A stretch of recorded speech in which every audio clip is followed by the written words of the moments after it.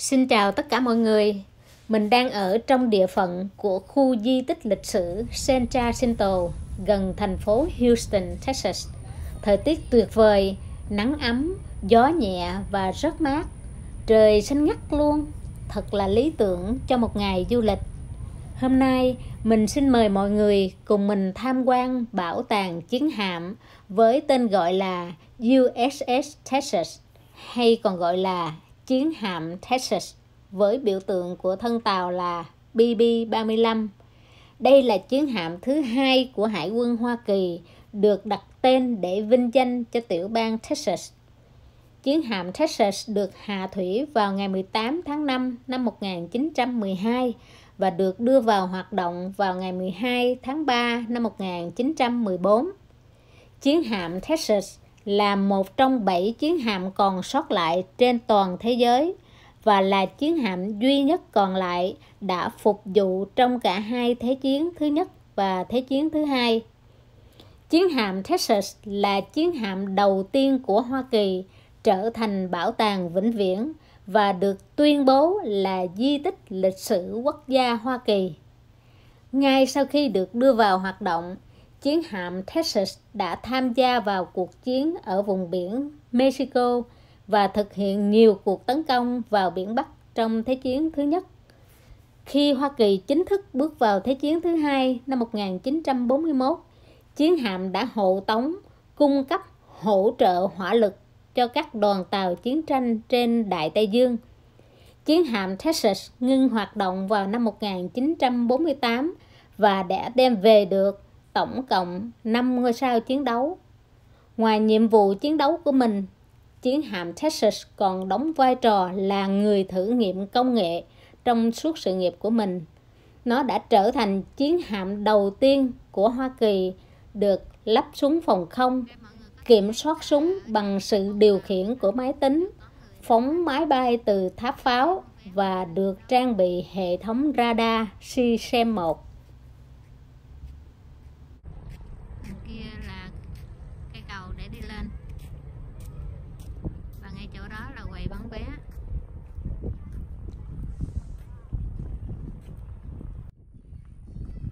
Người lưu ý nha ở trên tàu thì không có chỗ cho mình đi restroom mà restroom sẽ nằm ở ngay đây.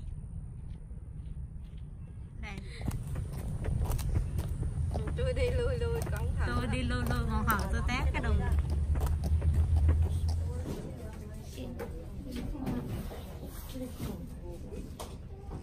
ticket. Forty-two dollars for five Chiến hạm cân nặng 27.433 tấn. Tổng trọng tải với đầy sức chứa là 28.367 tấn. Số người nhiều nhất trên tàu là 1.810. Chiều dài tổng thể là 573 feet hay 175 mét. Chiến hạm được chạy bằng động cơ hơi nước. Tốc độ 39 km trên 1 giờ.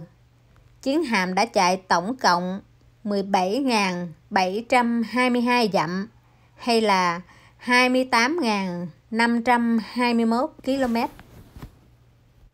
Đây là bằng chứng nhận địa danh lịch sử cơ khí quốc gia, tàu chiến chạy bằng hơi nước cuối cùng. Bây giờ mình tiếp cận khẩu súng cỡ nòng 3 inch được điều khiển bởi hai người pháo thủ sẽ ngồi lên trên cái ghế. Để hai cái chân lên đây. Sau đó, dùng trục quay này để điều khiển góc bắn. Rồi thì nhắm vào thước ngắm này. Thước ngắm thì mọi người. Sau đó thì chăm ngồi và đùng đùng đùng đùng đùng đùng đây là lần đầu tiên mình được đến gần một khẩu súng chiến đấu. Phải thử nghiệm cảm giác như một pháo thủ xem nào. Quay nè, quay cho nó di chuyển đúng không? Thấy thấy cây súng nó di chuyển không? Đây quay cái đầu nè, đầu Đúng đó. rồi, có vô. Đó, giờ mình quay nó nặng lắm. Đây. Mình quay Trời ơi, em thấy chiếc xe này nó nhúc nhích luôn đó Phương. Ờ, rồi mình nhắm nó vô đây. nhưng mà Đúng tội rồi. cái là mình ờ, mình lùn quá mình không có nhắm được đó đây là đủ nhắm nè đó quay lên quay luôn nè quay cái pháo nó quay nó đúng rồi mình treo tầng tầng lên luôn đó nhưng mà rất là mạnh rất là nặng luôn á dạ đúng rồi rồi rồi mình không phải là lính lính mỹ rồi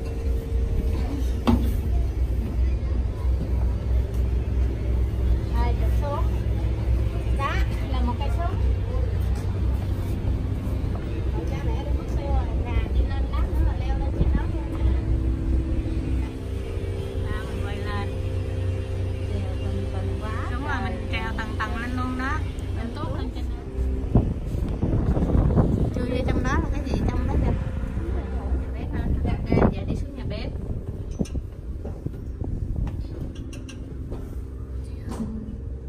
Watch your step, Ờ, đây là nhà bếp đây. Ờ, với cái này là tầng hầm của tàu nha. Nhà bếp đây. đó cái bánh mì trời này súp hay gì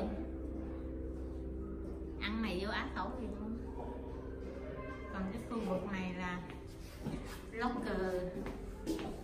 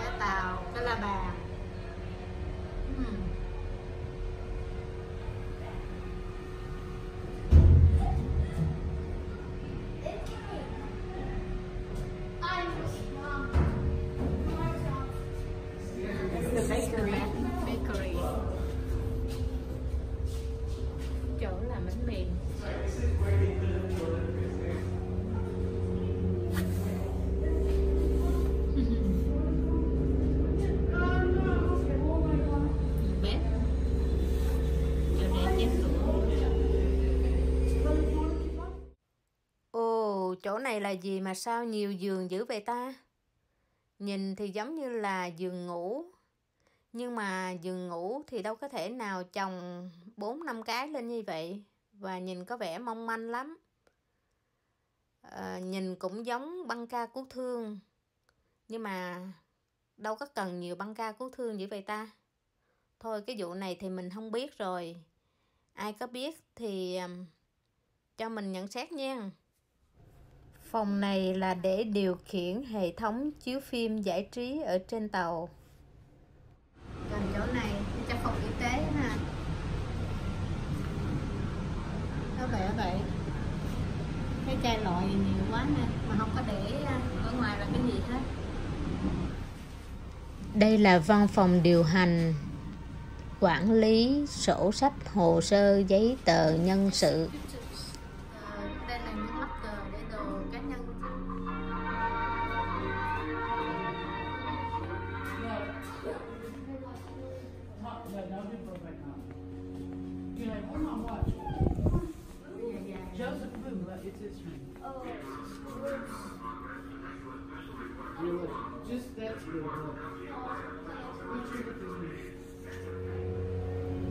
Hai bên đầu mạng tàu của tầng chính được đặt tổng cộng 6 cây súng cỡ nòng 5 inch, bắn từ trong ra ngoài. Cái này gọi là bắn lén, hay là núp bắn, hay ờ, thi vị hơn một chút thì có thể nói là vừa bắn, vừa ngắm cảnh. Thực ra nhìn cảnh từ trong ra ngoài cũng rất đẹp đó mà mẹ hai mẹ đi xuống cái này xuống được không? Đi ra bông tàu đó đẹp lắm. Ờ, dạ đúng rồi. Còn trên này là đi lên cao lắm hai mẹ không đi được đâu. Giờ đi xuống bông tàu này đi ha. Chỉnh chặt nha chỉnh hai bên chặt nha. Từ từ thôi. Em coi đứng lên nắm tay mẹ mới xuống không từ từ đi đúng rồi nó đi xuống bông tàu đẹp lắm à ra trước thấy không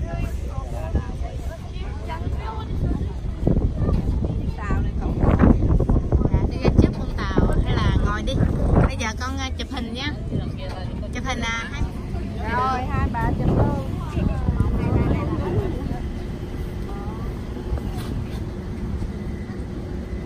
một hai ba Okay, one, two, and three. Okay, go Jess. Hiện tại mình đang ở đầu bon tàu.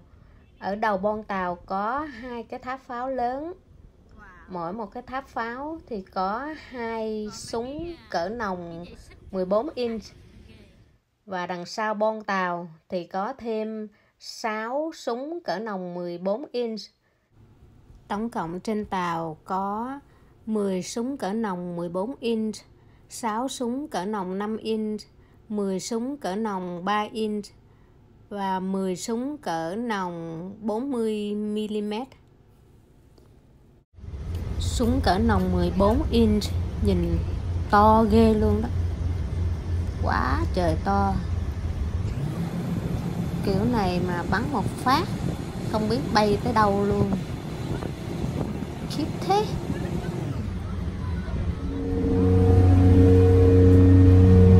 giờ mình đi lên trên nữa đây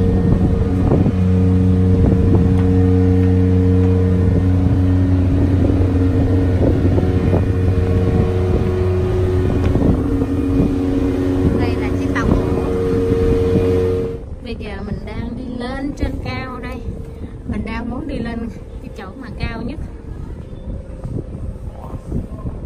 Và cái cầu thang đi lên cũng ok chắc chắn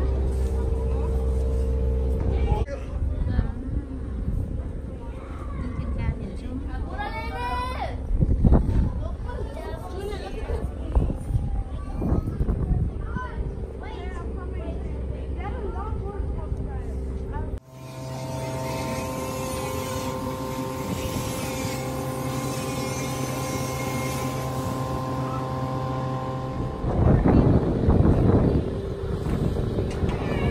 Nhưng mà bên này vẫn chưa phải là cao nhất nha mọi người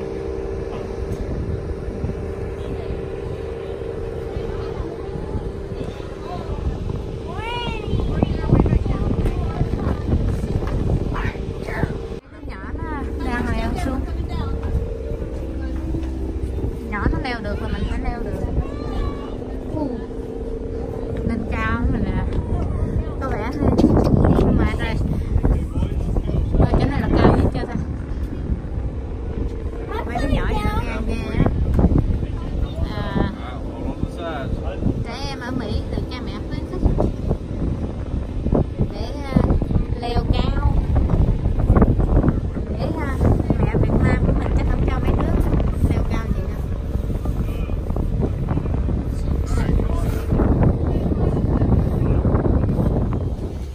đây là mình đang đứng trên cái vị trí cao nhất mà cho phép du khách leo lên trên cái tàu chiến hạm này. Ở trên nó còn cao nữa. Nhưng mà thật đáng tiếc là mình không được leo lên. Mình nhìn toàn cảnh xuống ở phía dưới. Rất là đẹp luôn mọi người.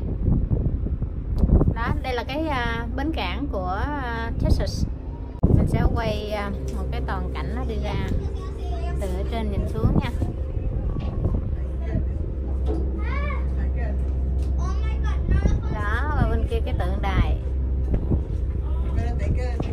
Xa xa nè. Nhìn xa xa là toàn là những cái container đựng à, xăng dầu của các nhà máy sản xuất dầu hay là lọc dầu gì đó. Có nhiều người đeo lên tới đây rồi đứng thở. Thôi hôm nay ngày thứ ba.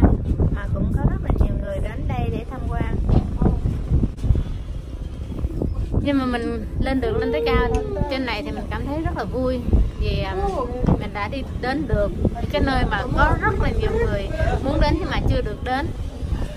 À, hy vọng là cái video clip này sẽ à, giúp cho mọi người có những cái ý tưởng về một cái tàu chiến hạm bên trong nó như thế nào à, và cái khung cảnh bên ngoài của cái uh, bến cảng uh, Texas. Rất là thú vị. Và bây giờ thì mình ra về đây mọi người thấy đằng sau lưng mình là cái tàu chiến hạm battleship của Texas nha nằm tại gần Houston, Texas từ Houston đi ra đây là khoảng um, 52 phút chạy xe đi theo Google Maps tạm biệt tạm biệt battleship và cái ờ, parking cũng rất là dễ mọi người ha. Đây ở đây là, đó parking là ngay sau mình luôn. Mình cứ ờ, đi theo cái địa chỉ của Google, mình cứ tìm là battleship Texas thì họ sẽ chỉ mình ra tới đây và cái parking là ngay luôn và free parking. Mọi người nhớ nha, khi mà mình lên tàu và mình muốn đi hết cái lịch trình của cái tour thì mình đi theo cái mũi tên màu vàng. Mình cứ chú ý đi theo cái mũi tên màu vàng là mình sẽ đi được hết luôn nha. Bây giờ mình đi kiếm người nhà của mình. Đã mất tiêu hết rồi không biết xe đậu chỗ nào nữa. Oh, mình đã tìm ra họ rồi. Ngồi trong xe giữa trời nắng. Vậy tại sao không giờ xe tới những cái chỗ nào nó mát hơn chứ nhỉ? Sợ mình ra mình kiếm không có được hay sao á? Mỗi người ở một cái phone đang chơi game chắc. Ok, bây giờ là tạm biệt mọi người thật sự luôn nè. Bye bye.